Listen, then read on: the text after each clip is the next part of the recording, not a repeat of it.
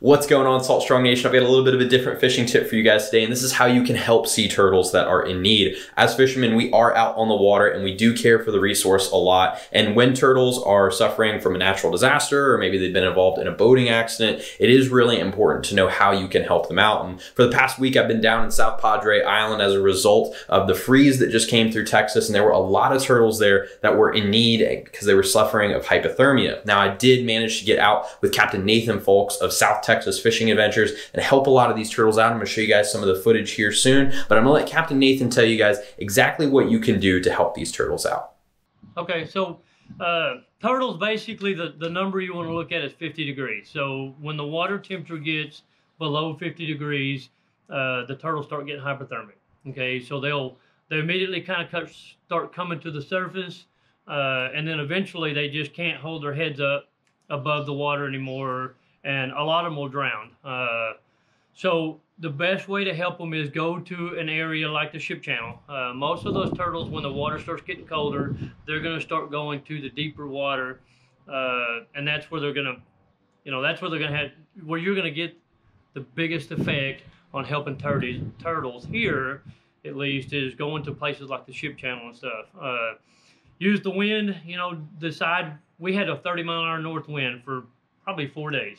So it it blew a lot of turtles on the south bank of our ship channel.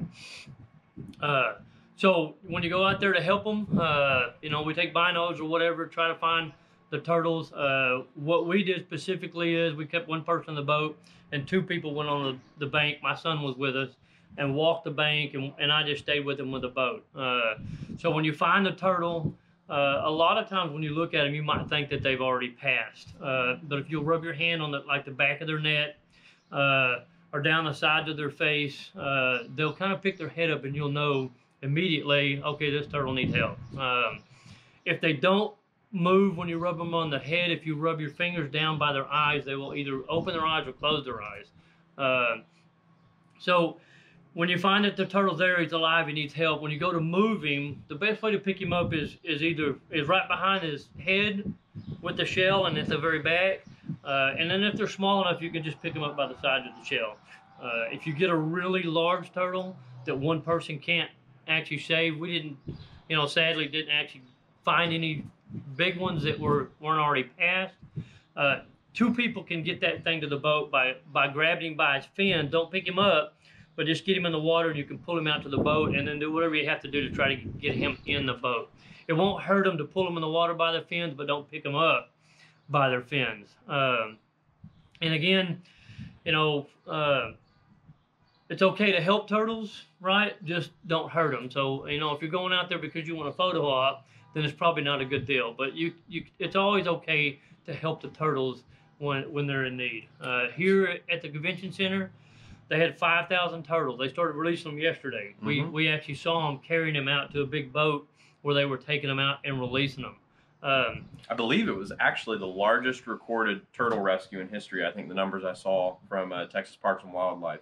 Yeah. So yeah, and, and that's the thing is the legality of this completely resides around if the turtles are in an emergency situation. In this case, it was a really bad freeze. The game wardens were going out grabbing turtles. They asked the community of South Padre and Rio Grande Valley to assist in this. And just know that you can contact your local rescue shelter if you're not sure whether you should be helping a turtle that you do believe is hypothermic or is an emergency situation, as we're going to talk about here in a second, and they can give you the best advice. Obviously, don't just go out and grab turtles on a regular sunny day. And, and usually, healthy turtles will swim away from you if there's something wrong with them you usually will know that something's wrong when you come up on a mature turtle and it's not moving. Um, but in terms of emergency situations with boats, which is a little bit more common, you might experience, you know, regardless of where you are. I think Captain Nathan has a little bit more information on that one as well. Right. The, the big thing with a with on a normal basis when you come up on a turtle is if he swims away from you and he can go underwater, he, he's going to be okay, right? Uh, there's no reason to mess with him.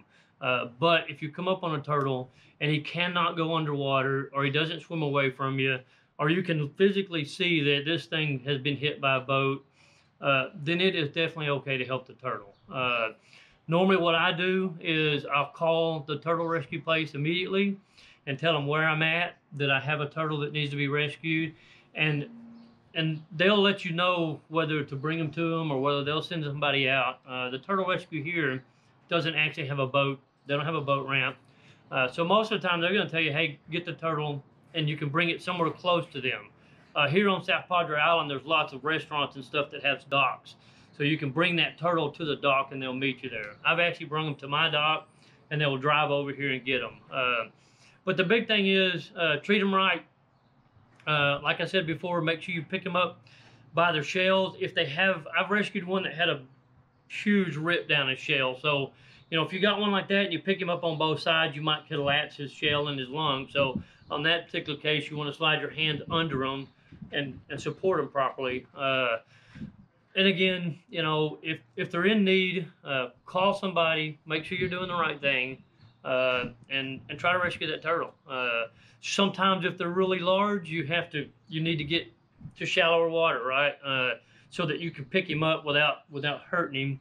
Get him in your boat close to shallow water and then pick him up, slide him on your boat any means possible. I've had some that were, you know, I had to shoulder them up on the boat or whatever, but just try to, try to be calm with them be careful when you get them in your boat. Make sure you situate them in the boat where they're not sliding around or you're not beating them over wakes or whatever. And the same if you put them in your vehicle. Uh, the ones we rescued the other day, we threw them in the back of my truck. Uh, so you want to make sure that somehow they're in the back of your truck so you're not beating them against the sides or the front. And the same thing with your boat. So the, it, don't want to do more damage than they already have. Absolutely. Yeah. So just to recap, guys, when you find these turtles, make sure that they are actually in a distressed situation. If it's a cold stun, best thing you can do, give them a little rub on the back of their neck. Check if they are still alive. Unfortunately, we did come across a lot of turtles that were expired. Mm-hmm. So it was really important for us to go up and manually check each turtle just by rubbing them on the back of their neck. We did find a lot of ones that we were able to save in boating accidents. Similar situation, just check on the well-being of the turtle. Make sure that you know your local turtle rescues number. If you're watching this video right now, highly recommend you just go give a quick Google search, save it in your phone because you never know when you're going to need it and uh, just make sure that you are taking the proper steps when you do have that turtle on your vessel or in your vehicle during transportation to where it's not bouncing around. And uh, just obviously look over the overall well-being of the turtle. So hopefully this video has helped you guys know what you can do to assist these awesome creatures in emergency situations. If you want to learn a little bit more about how to become a better fisherman or just anything about being on the water having a good time highly recommend you join us at saltstrong.com so if you're new to Salt Strong, just know that we're the best online fishing club in America because we literally guarantee that you'll be catching more fish in less time while saving money on your tackle. We do this by providing you with premium education, an exclusive online fishing community, and access to group discounts on the best saltwater fishing tackle. To learn more, go to saltstrong.com. We hope to see you in the Insider Club family soon.